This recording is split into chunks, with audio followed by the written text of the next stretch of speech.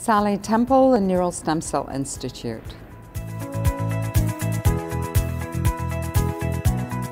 It was brought home to me when Ben Barres did a lecture at Harvard. I, I would just recommend that everybody watch this lecture, which is on YouTube. And he talked about the attrition that occurs. So while you may have 50% PhD students, by the time you get to you know, first hiring into, let's say, an academic appointment, then the percentage of women falls off. And you realize that this attrition is going on, and obviously, you know, even today, you see that imbalance. So it's something that we actively have to work on. Things are changing for the better, but the numbers speak for themselves. Um, just recently, I also wanted to assess salaries and went onto the website of, uh, uh, because we're in the US, the American Professor um, Organization, I'll have to find out the name of that. Um, when I went to that website, what I saw as the breakdown of salaries across the country, you could see that men and women are being paid differently. So you have the difference in percentage women in certainly in leadership and more prominent uh, faculty positions and in the pay discrepancy as well. So we need to be actively addressing both of these elements.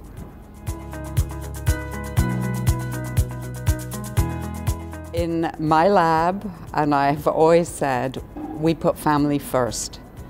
Um, if your child is sick, you go home. If you're pregnant and you feel ill, you go home.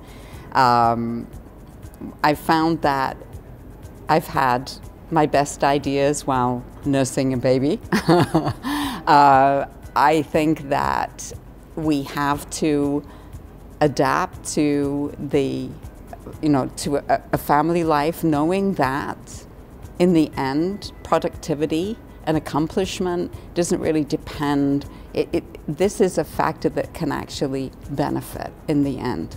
So I, I feel that creating an environment where family is first um, makes people more comfortable, more, more um, able to think freely and come up with good ideas. So in the end, it's positive for productivity and it's positive for career.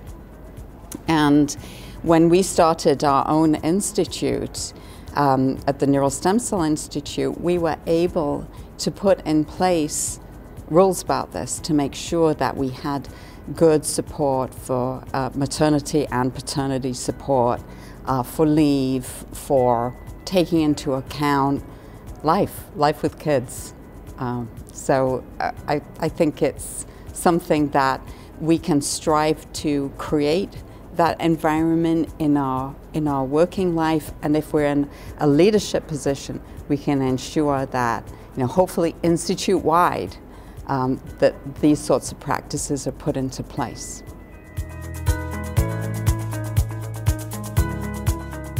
It's extremely important to network and to make sure that you have really good peer support um, to reach out to leaders who you admire, who both both men and women who are supportive of women in science.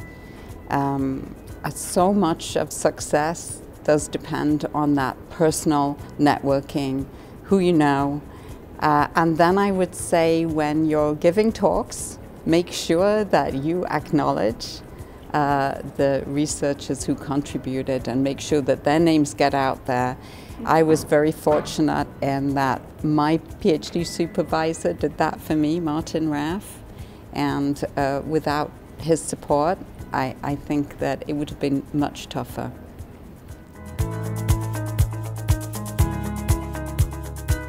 It has been a fabulous experience for me to be involved in the ISSCR. You know, I love stem cell research and now I'm in a community that values the research and I think also values the sort of things that I think matter about promoting um, at all stages of career, uh, a balance in gender, a balance in, in geographical uh, involvement of scientists from different types of institutes and cultures, and really helping to bring that mix together. Um, when I come to this meeting, uh, it's, it's my pleasure to really interface with scientists from across the globe, um, all of whom share the passion I have for stem cell research in its great variety.